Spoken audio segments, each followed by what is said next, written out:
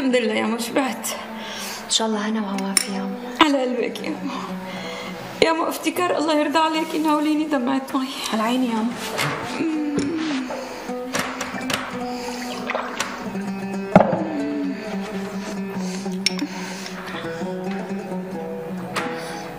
هنا يا مو الحمد لله على قلبك يا مو. افتكار. نعم يا مو. سامحيني يا مو. ما رح أقدر أحضر عرسك ولا رح أقدر أقوم بواجبك. يا مو خلينا نأجل العرس لحتى تطيبي الله يوفقك. إيه يا مو. أنا مع أختي خلينا نأجل العرس. لا يا مو لا. ما بصير نأجله.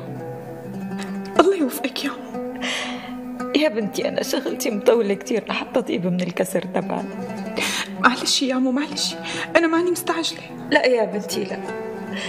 بيت حماكي بدهم اياكي بسرعة والمدة اللي عطونا اياها قربت تخلص كلها كم يوم وبتكوني عندهم. ما يكلك فكر.